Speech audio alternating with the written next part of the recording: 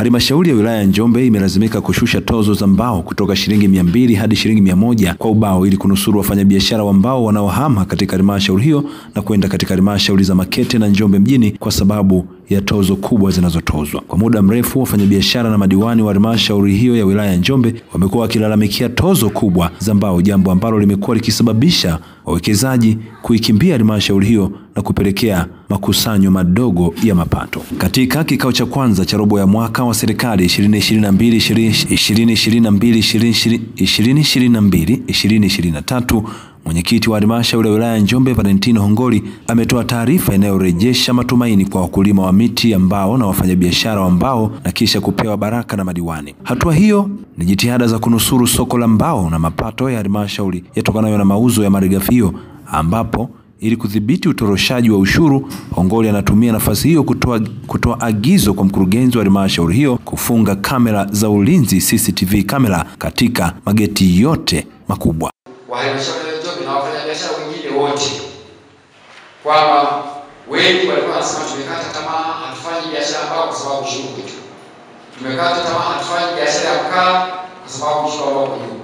Tumekata tamaa, hatufanyi biashara magogo kwa sababu ushuru uko juu. Sasa ushuru umepungua. Kwa hiyo kwanza niwakaribishe wote ambao walikata tamaa sasa wafanye biashara.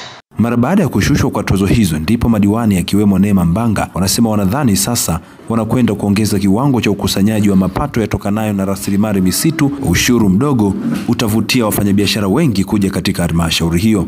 Tumelalamika kwa muda mrefu, kwa sababu sio kwamba tu ile tozo ambayo ilikuwa inawaumiza wafanyabiashara tu, ilikuwa inawaumiza hata wakulima pia, kwa sababu wafanyabiashara ili wapate faida walikuwa wananunua bei ndogo ya misitu, wananunua kwa bei ndogo, ili yeye na yeye atakapokuwa anatozwa hii shilingi mia mbili mia mbili ili auze kwa bei apate faida yeye. Na baadhi ya wale waliokuwa wametoroka kwenye halmashauri yetu kuto kununua mbao kwa ajili ya bei kubwa ya ushuru, nina uhakika sasa wanafanya nini, wanakwenda kurudi.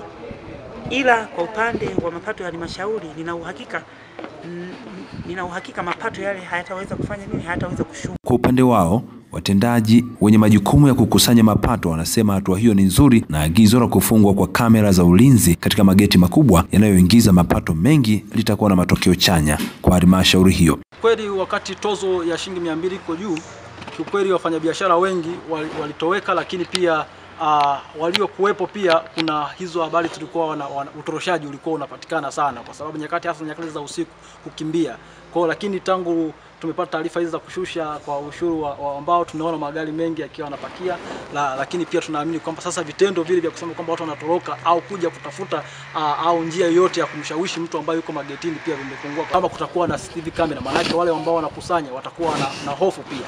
Kwa kwa maana hiyo tunaamini kwamba mapato yataongezeka zaidi ya kile ambacho tunavitumia lakini pia si kama tulikuwa tukimbizana kama tulivyokuwa tukimbizana mwanzoni na kukwazana, sababu zamani mtu uh, mfanyabiashara ukiambia bwana umelipia kiasi kidogo, amelipa laki sita au laki saba alafu naambia tena amelipa kidogo, andikitu naongezee.